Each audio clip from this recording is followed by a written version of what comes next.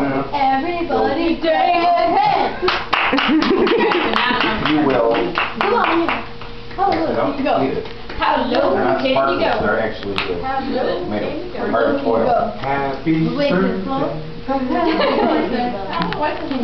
Happy graduation to you. Happy graduation to you. Happy